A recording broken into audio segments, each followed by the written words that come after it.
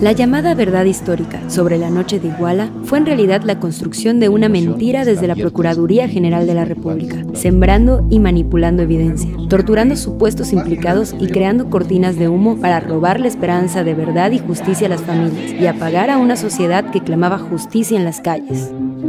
Desde el 2019, la Comisión de la Verdad de Ayotzinapa ha impulsado decenas de acciones de búsqueda en terreno, trabajo de contexto y documental, el análisis de pruebas científicas con instituciones nacionales e internacionales, análisis telefónicos de mensajes, ubicaciones y redes, reuniones periódicas con familiares y contrastado fuentes y evidencias para saber qué pasó con los 43 estudiantes de Ayotzinapa, lograr su localización e identificar a los verdaderos responsables dentro y fuera del gobierno.